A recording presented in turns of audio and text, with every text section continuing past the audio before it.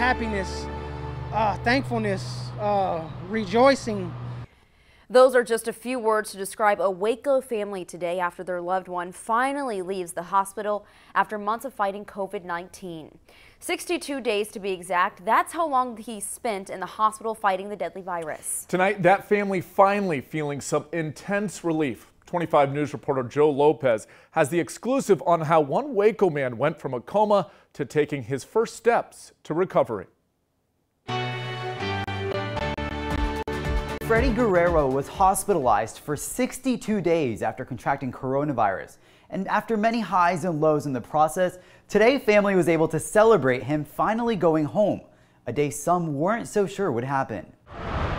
On a rainy Wednesday at Baylor Scott and White in Waco, We didn't know if this day was going to come. We always, we never lost faith and we never lost hope. there was a silver lining as family members of Freddie Guerrero celebrated their loved one as he beat all odds and survived coronavirus. Welcome home, baby. You get to sleep in your own bed tonight. We love you, brother. We love you.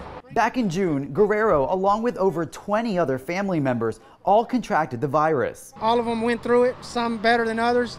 Uh, he was the one that it really just took hold of. leaving Guerrero bouncing between hospitals for over 62 days, and at one point was in a medically induced coma. For him to overcome and embrace what he had to do to fight, to live, he's a fighter. Good. Two more. You got it. Guerrero had to learn how to walk, Nine. how to talk, even how to eat again, inspiring everyone around him. It's just an amazing thing because you get to see that story from where you were practically what he said, you know, I almost didn't make it, to walking out of a hospital is amazing. Because of his treatment, Guerrero is still struggling to speak, but family members say he's excited to be with his wife and dogs and sleep in his own bed. It, it's just um, an overwhelming, overwhelming feeling of, of happiness and, and joy and uh, just pride.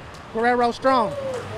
Guerrero still has months of treatment ahead of him, but the family is excited to find a way to safely celebrate his birthday, which is in just a couple of weeks. Reporting in Waco, Joel Lopez, 25 News.